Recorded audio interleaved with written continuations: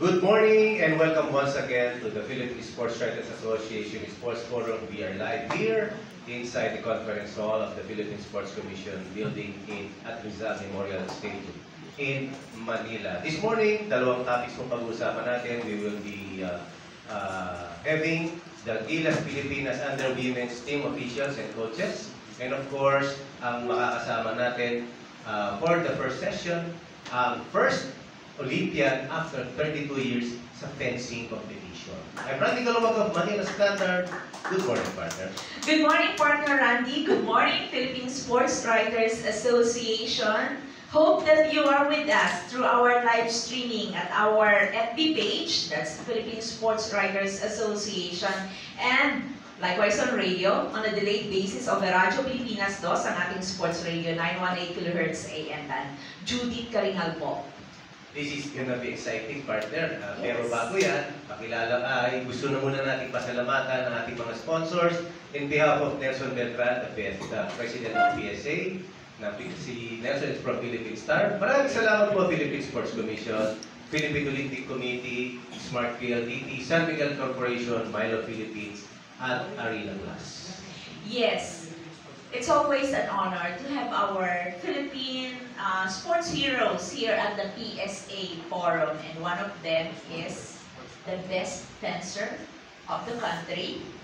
Uh, she is now an Olympian. After 32 years, finally, she made it. We made it. So it's an honor to have here with us Samantha Kyle Katantan, our Olympian.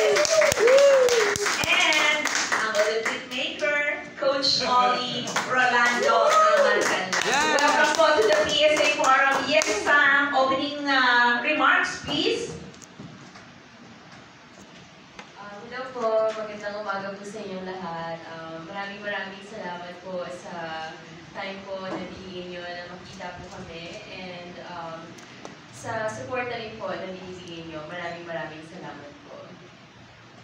Um, good morning sa inyo lahat. Ah, maraming salamat po sa pag-imbita sa amin dito.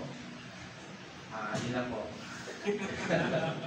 Good morning! Yan. At uh, uh, bago natin tanong yung uh, yung plano ninyo, August na yan, no? malapit na sa paghahanda ninyo sa fencing competition sa Paris Olympics.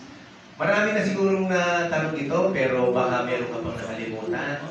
Ah, yung thoughts mo, no? About your thoughts na finally, you are an Olympian. You're going to the Olympics, Sam. Ano po, lagi ko naman sinasabi na we're more than blessed and thankful po sa pagkakataon po na makapasok po this Paris 2024. At syempre po, hindi ko naman po ito magagawa without the help po um, ng buong fencing community po dito sa Pilipinas. Yung mga coaches ko po na nandito, especially si Coach Aman. Um, yung mga teammates ko po dito sa Pilipinas, and even din po sa Penn State. Sa family ko po, sa, sa mga friends ko po, sa Siyempre sa parents ko po, and lalo na po sa mga kapatid ko din po. Ayun po, um, po, ano po, we're very overwhelmed po talaga. And actually po, up to now po, ang hirap pong um, maniwala na Olympian na po ako. Up, at siguro po, up until po, nandun na talaga ako sa Paris. Pero above everything else po, ano po, we're very grateful po and we feel very blessed.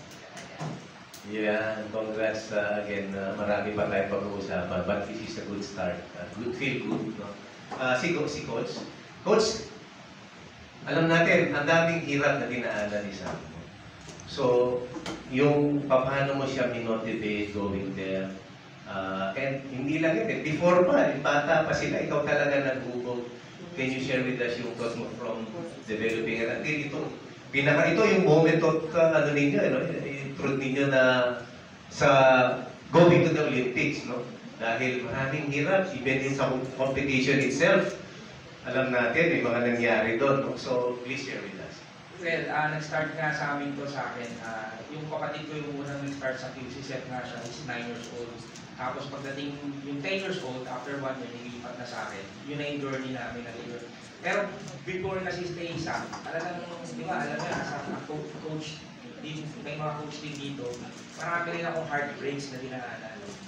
Okay, maraming heartbreak, pero sabi nga sa akin ng mentor ko, eh, yung, yung dati naming head coach, si Coach Benica, hanap ka lang ng hanap, makakakita ka rin ng tamang tao na magdadala sa'yo. Kasi ta- yung sipag lang eh, sipag. So ito nga, nakita, hanggang sa natagpuan ko lang nga si Sam, nagkatagpo na nga kami. So yun, so talagang bata pa lang, sinasama ko na siya sa sa mga age group competition sa Singapore, sa Southeast Asia. So may time, may time to na dinala ko siya sa hanggang ngayon, hindi ko makalimutan kasi iyakin kasi siya eh. Nung nag-start siya, iyakin ko talaga. So hindi pa hindi pa tapos yung game. Hindi pa tapos yung game, umiiyak na siya. Kaya kami natatalo. Kumbaga lumamang lang ng isa, dalawa yung kalaban. Feel niya, talo na siya. So siyempre sa, sa dismay ako, talagang nagagalit ako, pinapalayas ko na siya, parang umalis ka na, hindi, hindi, hindi kita kailangan dito. Parang magtinda ka na lang ng dyaryo, mga ganon. So, yun, after nun, after nun nagbago, na-motivate ko siya doon. So, yung mga sumunod na competition namin, hindi na siya umiiyak. Pero sinabi ko naman kasi sa kanya, kung gusto mong umiyak, punta ka sa restroom. Huwag mo ipapakita na, ano, na, huwag mo ipapakita sa mga kalaban mo, kasi yun yung makikita nila yung weakness mo. Siguro ganun na yung ginagawa niya. Pero yun nga, tumapang na tumapang. Of course, dun din sa mga competition, kasi age group pa lang, sinanay ko na siya eh. Para pag dumating sa time na to. Pero talagang, talagang naka-vision. Binisyon ko talaga na itong, itong bata na to. Ganyan. So, ang maganda kasi sumusunod talaga eh. Sumusunod siya, mabait na bata, lahat ng sinabi ko, hindi lang sa akin, pati mga coaches na kasama yung mga tumulong. Ah, sumusunod po talaga. So, yun, unti-unti, even nga nung pumasok na ako, naging head coach na ako, is, yun nga, si Ma'am madalas kami nag-uusap na. So, talagang sinasabi ko na ang dream namin is makapasok sa Olympics. Pero, step by step, si Games muna, nandun mga Asian Junior, World, lahat naman yun, nagka-medal kami, nanalo kami lahat yan. So, ngayon nga, kaya, kaya na, ano talaga, 8 years in the making eh. From 2016, tas 2024. So, yun nga, mahirap pumasok talaga sa, sa fencing sa Asia, napakalakas po talaga. Napakahirap pumasok po talaga rito. Kaya even ako, hindi ako makapaniwala, kaya pala natin. Basta talaga may determination, may goal ka na makukuha mo. So ito na kami ngayon. Ito na kami ngayon. So yung, yung pinagdaanan talaga namin, hindi, hindi basta-basta, hindi basta-basta ko. Pero of course, nakatulong sa kanya rin yung pagpunta niya sa US. Kumbaga, nasa maliit siyang aquarium sa US. Yung nila- nilagay mo siya sa dagat, yung full potential lumabas. So, ganun po. Dami ko pa question, pero let's give others a chance. So Sam, what now? Nasa Olympic mode ka na ba? Anong klase pang training ang pwedeng gawin? Which is two months to go.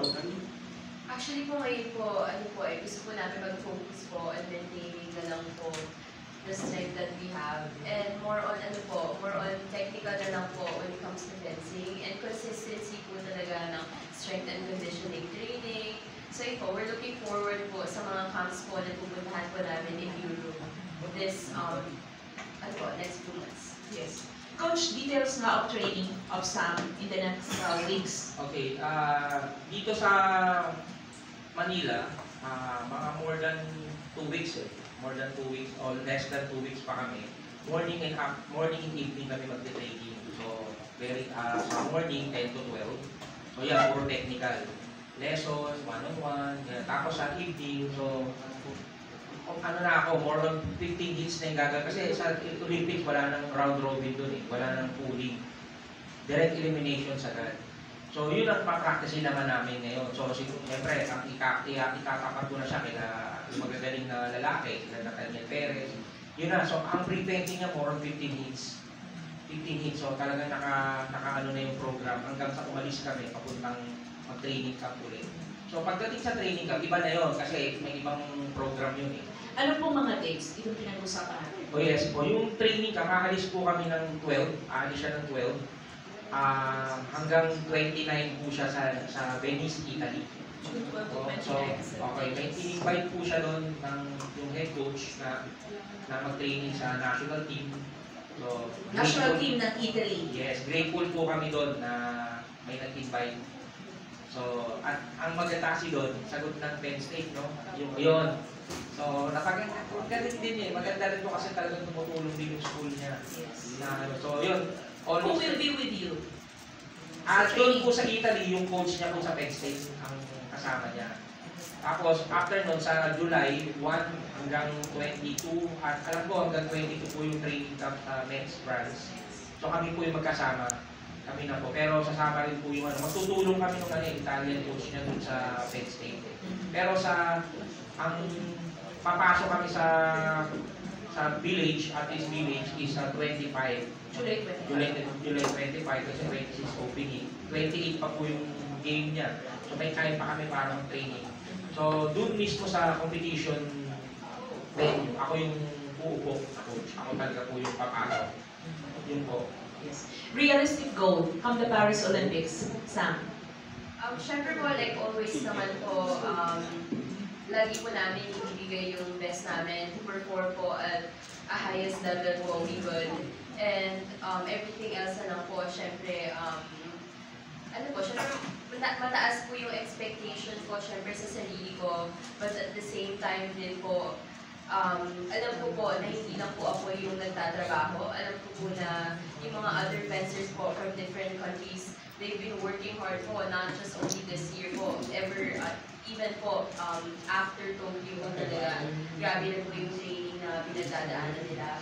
And realistically po, syempre this year po, um, I had a rough um, year po coming from the injury.